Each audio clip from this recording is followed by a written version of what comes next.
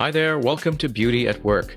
We're in between seasons at the moment, so please check out this clip from one of our episodes. Some scientists find a theory of everything incredibly beautiful. But is such a theory worth pursuing? According to award winning physicist and author Dr. Marcelo Gleiser, the answer is no. in this clip, he explains why the pursuit of unity in science has been misleading. Check it out. I remember in the 1980s when I was in grad school, you know, the, the zeitgeist was, hey, we are going to be able to put the whole of the universe in a t-shirt in a single equation. Right, right, right. yeah, and that yeah. was like, wow. I mean, how could you not be wowed by such a possible adventure, right? I mean, I mean, so as as a young theoretical physicist, I said, of course I have to go after this. I, I need to be part of this group, you know, of people that are trying. So in the 80s, you know, when I was doing my PhD in England, I I did join the string theory, which was by the time, you know, the most powerful way of thinking about these mathematical hidden structures. And I'm like, Einstein himself spent the last 20 years of his life trying to find the so-called unified theory. And he failed, but it was a very valiant attempt, so to speak. And I'm like, I just want to keep doing this. I mean, what privilege, you know, to have a life where you can actually spend your time teaching people about the beauty of, of science and pursuing the deepest secret of all, right? So I was completely enamored by the whole idea of going for it, you know, finding the theory of everything. Right, right, right, right. So, so what happened then? I mean, you you you essentially distanced yourself from that pursuit of of unification. Right. Yeah, so then I grew up. so basically, what happened is, yes, you know, I pursued this. I wrote lots of papers. My PhD thesis was on stuff like this. And my postdoc, my first postdoc in particular at Fermilab, which is a big high energy physics lab, is the CERN of United States, so to speak, uh, was um, very much devoted to this until I went to the University of California in Santa Barbara to do my second postdoc at the Institute for Theoretical Physics. I, I, guess now it's called the Kavli Institute for Theoretical Physics, where I met not just people that were working in high energy physics, you know, string theory and cosmology, but actually folks that were working in condensed matter physics, phase transitions, more applied stuff. And then I realized that the universe of physics was much broader than this kind of a semi, uh, I would call it semi religious pursuit of the theory of everything, like this monotheistic way of thinking about the world. That, in a sense, what was really interesting to most of these people was not the perfect symmetries. Of course, they're very useful, right? And we use them all the time. But it was really the asymmetries of things. And then I started to say, but wait, you know, it's not just them because in particle physics, asymmetries are extremely important, right? Because if you start to look at things um, more carefully, the asymmetry in nature plays a tremendous role. And one of the most important of them, I can go and list a bunch of them, but one of them is the famous matter antimatter asymmetry. So, what does that mean, right? The idea here is okay, we're all made of matter, like of electrons and protons, etc. But there's this other kind of particle in nature, which is called antiparticle. And people say, ooh, does it go up? Uh, in gravity? Does it have a sort of mysterious? And and the answer is no. You know, basically, antimatter is simply matter with sort of different properties. So an electron has negative charge, but it has a certain mass. And the antiparticle, so the it's sort of like a mirror world, right? And the antiparticle of the electron is called the positron positron, positive. It just means it's very much like the electron, but it has the opposite electric charge, right? And we see those things, and it's really beautiful that particle physics has discovered this kind of matter. It all started in, believe it or not, it started almost 100 years ago with, with Paul Dirac, you know, when he wrote an equation that basically predicted the existence of these things. They found it. And then the big problem became wait a second, because if you have as many particles of matter as particles of antimatter in the universe, what would happen is that every time those two collide, they disintegrate into a puff of very high energy electromagnetic waves, like they're called gamma rays, but so very high energy light. So if matter and antimatter existed at the same in the same amounts in the universe, we wouldn't be here. The universe would be a completely different place. It would be a place filled with radiation and not much more. So without that imbalance that exists in nature between matter and antimatter, there is more matter than antimatter, we wouldn't be here. And then the question becomes, why? You know, why is there such an asymmetry at, uh, at the fundamental level? And nobody knows, right? And what we do know, and here is really interesting, is that this asymmetry somehow is related to another kind of asymmetry, which is very existential, which is the asymmetry in time. So it turns out that the asymmetry that relates matter and antimatter is related to the fact that we all know that time always flows forward. Right? Yeah. And there's a deep entanglement of these ideas there that we still do not understand. But long story short, when I started to think more about not just the symmetries, but the fact that what we want is not so much the symmetry, but we want to break those symmetries because when you break the symmetries is when stuff happens, right? And you look around yourself and you say, okay, where is perfection in nature, right? I mean, is a rose perfect, symmetrically perfect? Is right. a cloud perfect? Is a tree perfect? Is your face perfect in terms of perfection? And you realize that it isn't right? That everything is imperfect in nature. And say, this is trying to tell us something, you know, that yes, symmetry is a very profoundly efficient tool in physics and mathematics, and we use it all the time. But the nuances with which nature creates structures really come more from these imbalances than from a perfectly balanced nature. Yeah, yeah.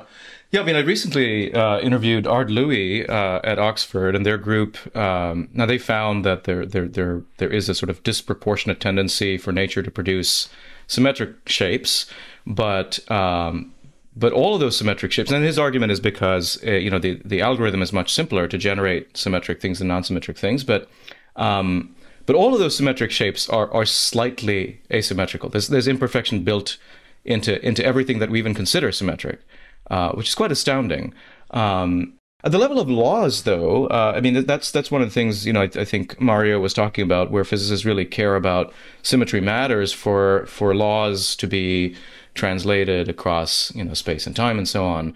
Um, I mean, is that is that really essential for for laws of nature to exist? Do we need some kind of symmetry at that level, or what do you think? I think that um, we have to understand something very very important about laws of nature, right? That and uh, it which is that everything that we humans do is an approximation to what's going on, right? Everything that we describe as let's look at the moon and let's approximate the moon as a perfect sphere. And then you say, well, as a perfect sphere, you know, if you rotate the moon in any possible direction, if it's a perfect sphere, you're going to get the same thing. A perfect sphere has this beautiful rotational symmetry in every direction, but the moon doesn't because the moon is not a perfect sphere. So, you know, it's the, this joke that we let's consider a spherical cow, right, as, as an example of an approximation. But of course, and it is very useful as approximation. So I think what happens very often in physics and mathematics is that we confuse the map with the territory.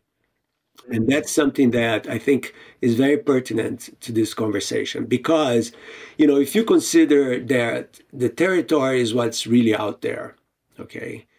And what we do as humans is that we interact with physical reality through our senses and our instruments, and we create maps of the reality that we can see, right? And of course, a telescope and a microscope, they will expand the map, they'll make it more nuanced. But the map, and this is what's important, the map is never going to be a precise replica of the territory. It's always going to be an approximation of that territory. Right? Yeah, you don't you don't want a you know, one-to-one map would be like Borges says, yeah, that's exactly. the most useless sort of thing, right? Yeah. Right. I mean, the the the, the perfect map, in like in Borges, is one paragraph short story is the territory is as big as the territory, and that's just useless, right? But that that story, short story that I suggest everybody reads. You know, it's it's I think it's called On the Rigor of Science. Uh, one of the translations is in English is which is a one paragraph story, is that the futility of trying to pretend or the futility of believing that what we actually represent as nature is nature you know and forgetting that what we actually do is we approximate. And yes within our approximations absolutely. You know symmetries are very very important. They open gates to new discoveries and and that's beautiful and and powerful and of course we all have to do that. But we should not think that because our approximations describe nature as this perfect thing like everything is perfectly conserved and you know energy is conserved energy momentum is conserved and angular momentum is conserved and electric charge is conserved that that is how nature is. That is how nature is according to the way we look at nature. And I think that brings about a sense of humility because, you know, it would be profoundly arrogant, in my opinion, to believe that what we can say about the world is what the world is. What we can say about the world is what we as humans perceive of the world. And that is very much anchored in, first of all, in our experience of reality. Yeah, yeah. Um, well, let's let's talk about experience. I mean, you've you've um, you've written this this article recently about the the blind spot that that uh, many of us have, uh, particularly in science, when it comes to experience. Right, we discount the role of our our situated experience as humans, and that um, blind spot is is partly responsible for the uh, existence of scientific materialism as, as a worldview. Could you say a bit about that? Yeah, so I just finished a book actually uh, oh, with um, with Evan Thompson, a phenomenal philosopher from the University of British Columbia, and Adam Frank. Uh, and so it, the book is called The Blind Spot, right? And it's about experience and the idea of reality.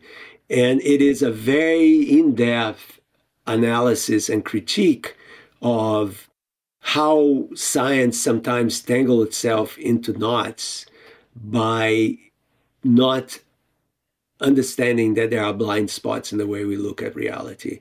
And the most fundamental of those blind spots, is, uh, and this comes from a, a, school of philosophy called phenomenology, um, you know, like uh, Edmund Husserl and uh, Alfred uh, North uh, Whitehead and people like that, where they say, um, do not confuse, you know, um, what you, how you describe reality for reality itself, which is very similar to what I was just saying before about the map and the territory. In fact, this analogy of the map and the territory appears all the time. And the blind spot is essentially the neglect of experience, our physical experience of the world, as being essentially where everything begins. So what we do is, you know, for, we use an example in the book, which is the example of temperature. Okay, what is temperature, right? And nowadays we think of temperature as something that is real, right? Like temperature exists, is real, but temperature is not real. What is real is our sensation of hot and cold. That you feel. You feel hot, you feel cold, and then from that sensation, which is primal, you know, it's how it begins, to a description of these changes in sensation by something that we call temperature, you needed 300 years or more of science. Okay. So to go and quantify by a thermometer what you mean by hot and cold, a lot of stuff had to happen right? And so again, the thermometer is a map of our sensation of temperature. But temperature itself doesn't exist. It's a construction, you know, it's a narrative that we are creating to describe ultimately what we mean by hot and cold. And what happens there is that if you look at the history of science and, and the way we structure the book is an MIT uh, press book that hopefully will come out in about a year or so. Um, if you look at the history of science and we, the way we broke the book down into, let's see if I remember this. First, the problem itself. Then um, we do an analysis of time. You know, the notion of what is time. Okay, that one is a very complicated story, right? I mean, the, the way physicists and philosophers talk about time. And then we go on to, I mean, St. Augustine, be, way before science, you know, had this thing about time, right? Um, and and then we go into cosmology, you know, the no- notion of the origin of the universe. Is that a knowable question or is that an unknowable question? And why scientists tend to think that it's knowable and why we think it's unknowable um, within the framework of science, anyways. Um, and then we go on to talk about the concept of matter, materialism, right? And you know the notion of the existence of atoms and particles and quantum mechanics and how do you interpret quantum mechanics and then we move on to um, the consciousness the nature of consciousness. And at the very end, we talk about the question of planetary awareness. You know how how those how those scientific notions kind of percolated through our mindset, especially across the Industrial Revolution and even before then, to kind of position ourselves above everything else in nature, you know, and why that is a disastrous way of thinking about who we are, you know, in the in the world right now. Yeah. Wow. Wow. Yeah. Well, that's fascinating. I mean, and, and, and this work has has ramifications for, uh, I suppose, the kinds of philosophical assumptions a lot of scientists carry, right? And I think materialism was one of the ones that I think you critique in the article that I that, that I think you put out uh, a couple of years ago.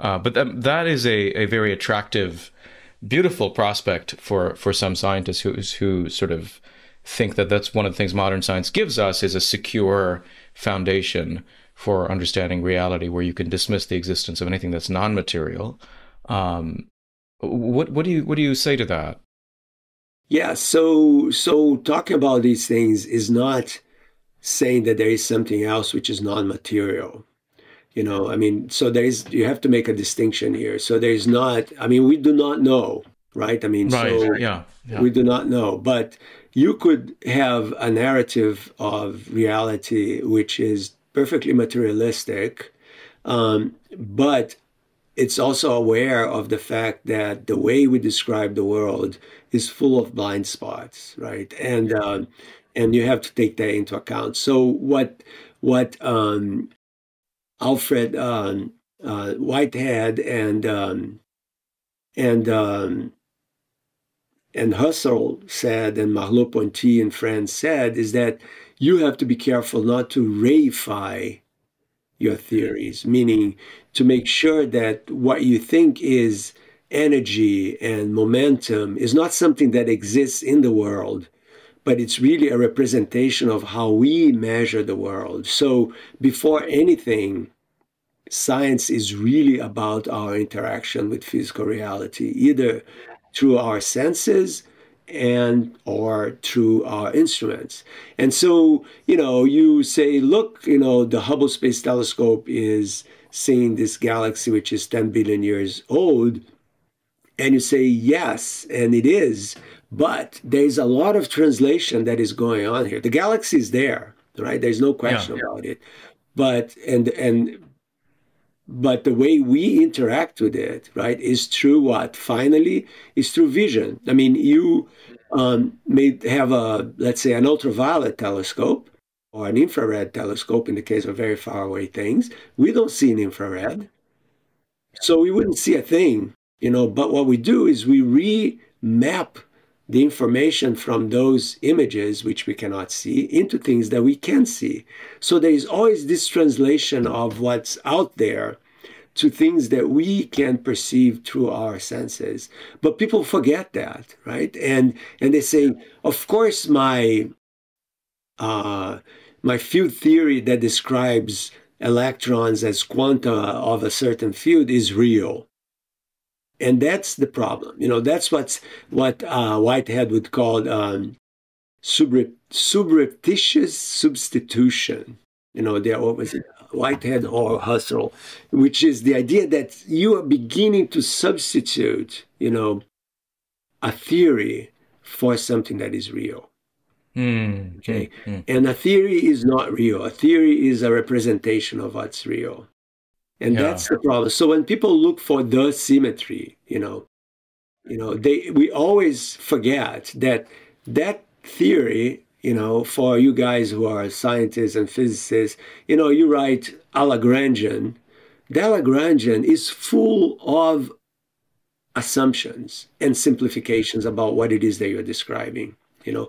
And it is a great approximation to what's going on. Just like newton's theory of gravity is beautiful to describe how the moon goes around the earth all you need to know is the masses of each one of them the distances between them and bingo there you are. But the moon and the earth are, much more than just that you know? That is just something that is useful to describe that particular. So that is the danger you know when you start yeah, to yeah. think of your theories as the world as is as opposed to representations of the world. Oh, that's a great that's a great caution. I, I recall uh, frank wilczek talking about how we might get very different physics if we imagined doing physics from the perspective of a bird or, or of a spider. Um, right? So, because a bird, I think, would more naturally grasp relativism than than we would, uh, relativity rather. So, uh, yeah, there's a famous quote by Heisenberg before we go there, um, which says that what we see is not nature, but nature subject to our questioning. Meaning, is the questions that we are asking about nature that the ones that we try to respond, and that, in a sense couches the whole conversation. There are all these other things out there that we're not asking questions about yet or have in the past that also nature, you know, and so, you know, but we are looking at nature in, of course, the more we advance scientifically, the more spectacular and the broader our, our conversation is, you know. So sometimes this stuff that I say is viewed as a little anti-scientific, and it's exactly the opposite. You know, what I'm trying to do is to show how awe is an essential part of science. But we should also at the same time be careful not to think that science is completely like not to equate science with truth you know because truth is a very dangerous and, and elusive kind of word you know. And the problem with these ultimate theories of everything which philosophically don't that the whole that that assumption it's nonsense right? You cannot have an ultimate theory of everything or anything because knowledge is always advancing right? You cannot say that, okay, we are having a theory of everything now because we have the four forces of nature, you know, gravity, electromagnetism, and the weak and strong nuclear forces. That's it, folks. All we have to do now is bring them all together and we have a theory of everything. But then, how do you, how can you say that knowing that, hey, in five or 10 years, some some guy or person in some laboratory may discover discover a fifth force of nature. And you go, damn, okay, my theory now is incomplete. It's not the theory of everything anymore. It's the theory of almost everything. And the point is that you have to put that one in. And so I think there is a lot of hubris, you know, in making final affirmations about our knowledge of anything, including science. Beauty at Work is brought to you by Templeton Religion Trust. If you enjoyed this clip, go check out the full episode. And please take a moment to subscribe and leave us a review. It really helps get the word out about the show. Thanks, and see you next time.